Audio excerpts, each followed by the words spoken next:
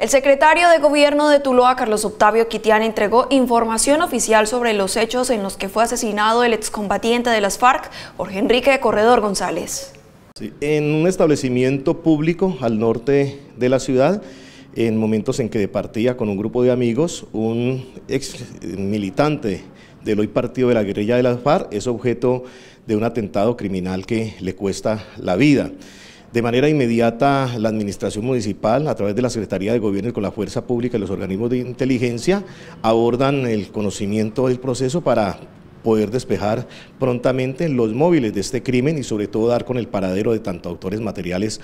eh, como intelectuales y desde la institucionalidad de manera inmediata se procede a desplazarse hasta el corregimiento, hasta la vereda San Marcos, lugar donde eh, presumimos y por eh, versiones de la comunidad se encuentra ubicada su familia. Ese proceso se dio hasta altas horas de la madrugada donde logramos la reubicación precisamente en el sector urbano, brindar todas las garantías de protección para que eh, no se deriven situaciones de, este hecho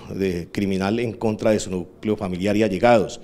Igualmente obliga a un Consejo de Seguridad que tendrá lugar mañana en las instalaciones de la Administración Municipal, donde no solamente esperamos contar con la institucionalidad local, sino con la presencia del Secretario de Seguridad Ciudadana del Valle del Cauca, el Director Seccional de Fiscalías y de la misma manera extendemos la invitación a los miembros representativos del grupo político de las FARC que desarrollan su actividad en la región, precisamente para que de este Consejo de Seguridad se deriven acciones que garanticen la seguridad no solamente de los integrantes del grupo político de las FARC, sino de todos los líderes sociales, defensores de derechos humanos que ejercen su actividad en nuestro municipio. Él estaba en ese momento celebrando un cumpleaños del hijo, ¿es cierto? ¿Con quiénes estaba? ¿Hay personas heridas? ¿Qué se sabe? La versión que tenemos es que precisamente se, eh, estaban, se disponían pues a,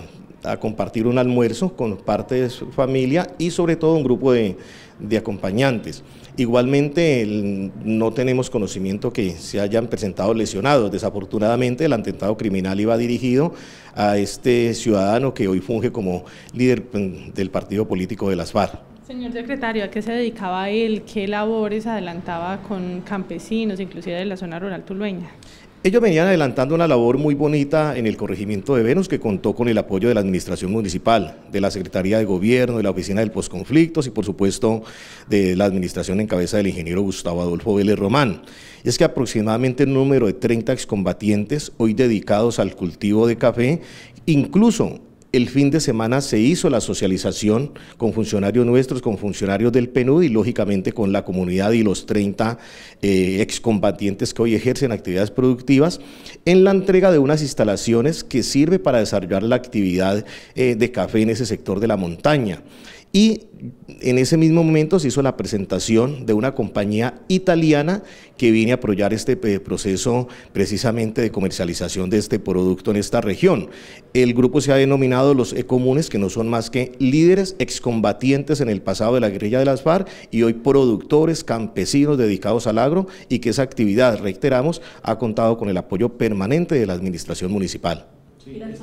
las familias de él, eh, haber recibido alguna protección especial? Por supuesto, inmediatamente conocemos los hechos eh, desde el mismo día de, ayer hasta altas horas de la madrugada. En vehículos oficiales nos desplazamos precisamente para brindar protección, para reubicar la familia, para evitar cualquier hecho que se derive este lamentable insuceso. Y hoy estamos tratando de consolidar también esa reubicación de la familia que reiteramos estaba ubicada en la vereda San Marcos, que es jurisdicción del corregimiento de Venus, lógicamente para brindar todas las medidas de protección y seguridad, no solamente a su núcleo familiar, sino a allegados y personas que ayudaban a, desarrollar hoy en día la actividad política del líder asesinado. Él, él tenía escoltas, tenía algún esquema de seguridad propio, había reportado amenazas, ¿se sabe algo?